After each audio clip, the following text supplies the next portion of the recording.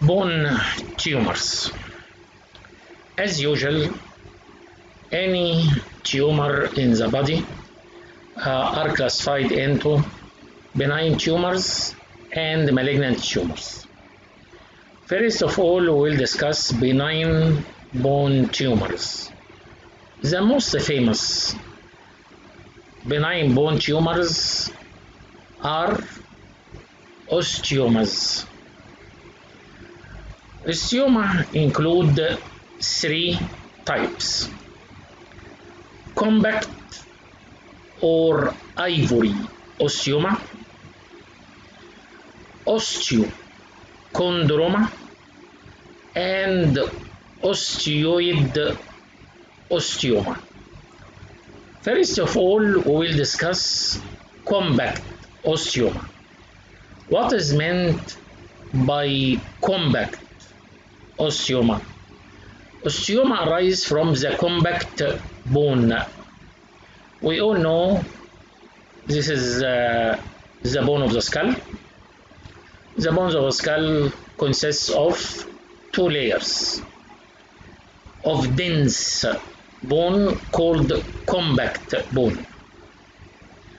And in between there is bone with wide spaces and the trabeculae.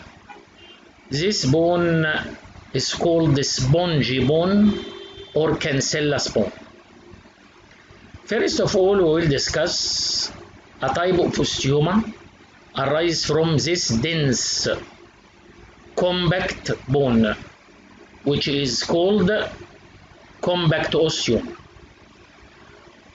When you see compact osteoma, you will uh, find that it is similar to this.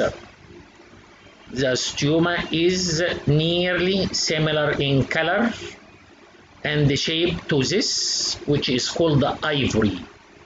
Therefore, the other name of compact osteoma is ivory osteoma. What is uh, the pathology of compact or ivory osteoma? It arises from the bone. Therefore, it arises from the bone forming cells, which are called osteoblasts.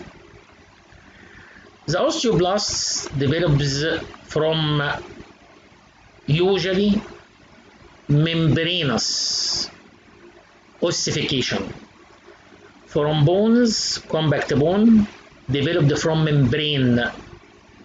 The most famous bone developed from membranes is the skull.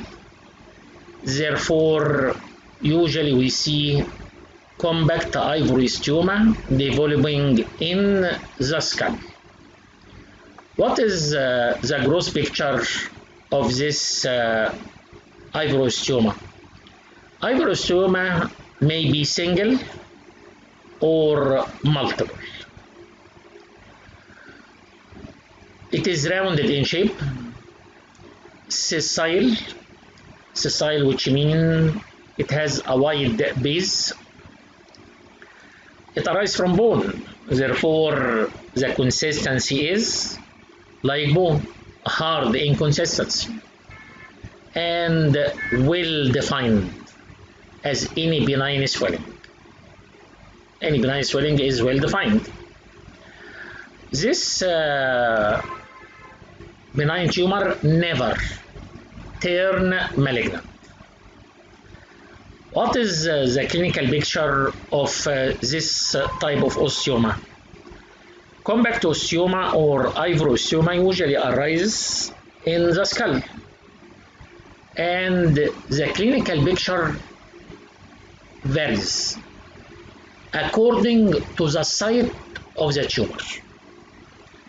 If the tumor arises from the outer table of the skull, outer table of the skull, what is the problem?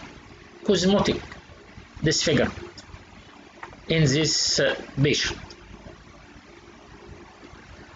Or the swelling may develop from the inner table of the skull, inner table toward the intracranial cavity. Toward the brain leading to increased intracranial pressure. It may arise inside the orbit and if this swelling by this size arise in the orbit it will compress the eyeball and uh, leading to protrusion of the eyeball leading to proptosis or maybe squint um, it may arise in the external auditory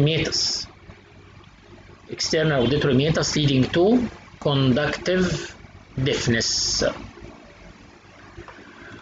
What is uh, the treatment of uh, this condition?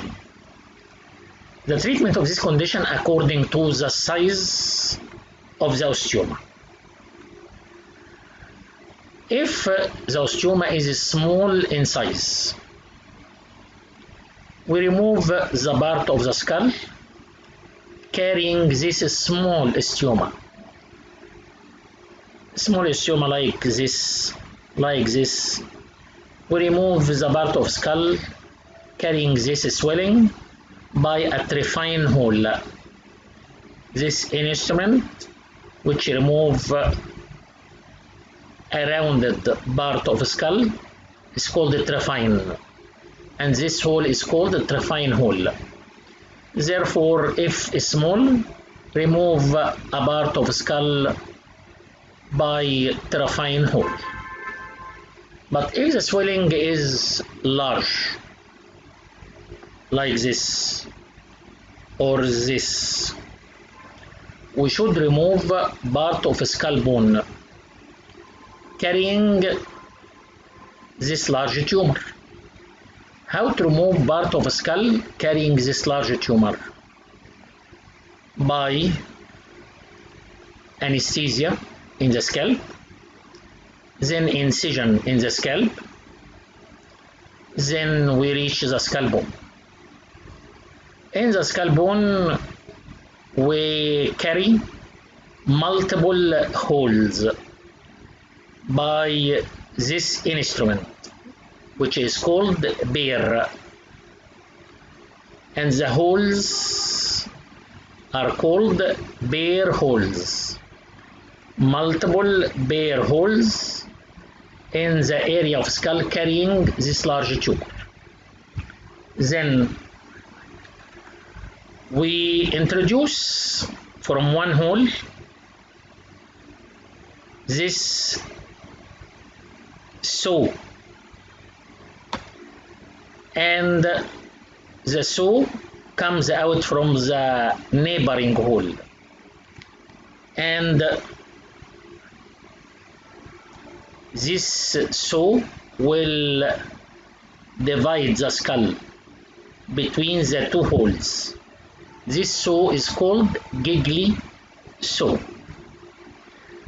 And therefore by multiple burr holes and we divide the bones of the skull between these holes we remove the part of the skull carrying this large tumor. This is the first part uh, or the first type of osteoma which is compact or ivory osteoma. Thank you for good listening and good luck.